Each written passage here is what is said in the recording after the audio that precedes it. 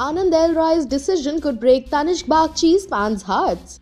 Well, there is no second opinion about Anand L. Rai's love for Tanishk Bagchi's work. Of course, for his next film with SRK, Rai wanted to work with Tanishk once again. However, Rai was in a double mind about the song which Tanishk had composed for his film. So he went to Shah Rukh and made him hear the tune.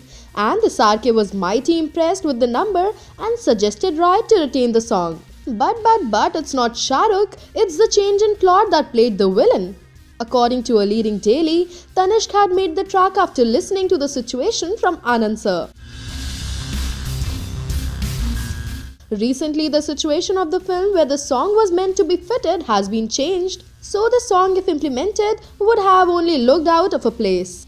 Bad luck for Tanishk and his fans. So, what do you guys think about this? Do let us know and share your views in the comments below.